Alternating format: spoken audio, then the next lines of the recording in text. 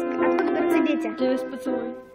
А, а потом откуда они появляются? Живота. Какого?